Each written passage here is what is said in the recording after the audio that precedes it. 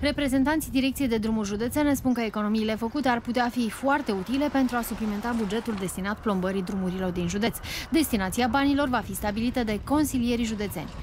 După sezonul rece am uh, făcut uh, o economie față de iarna trecută de peste 20 de miliarde de lei vechi, uh, bani care intră în excedentul Consiliului Județean și plenul Consiliului vor decide unde vor merge acești bani.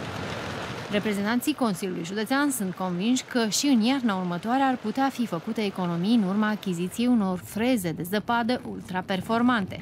Acestea vor fi cumpărate cu fonduri europene, proiectul depus de reprezentanții Euronest fiind aprobat la finanțare.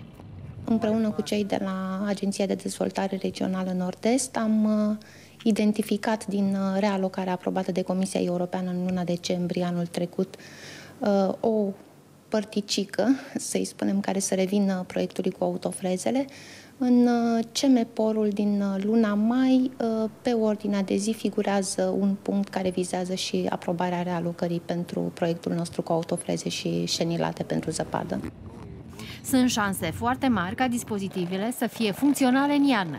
Proiectul de dezvoltat în colaborare cu Inspectoratul pentru Situații de Urgență prevede ca cele 24 de auto speciale care urmează să ajungă în județele din regiunea de nord-est să poată fi folosite ca mașini de stingere a incendiilor, iar în caz de necesitate, iarna să le fie atașate dispozitivele de dezăpezire.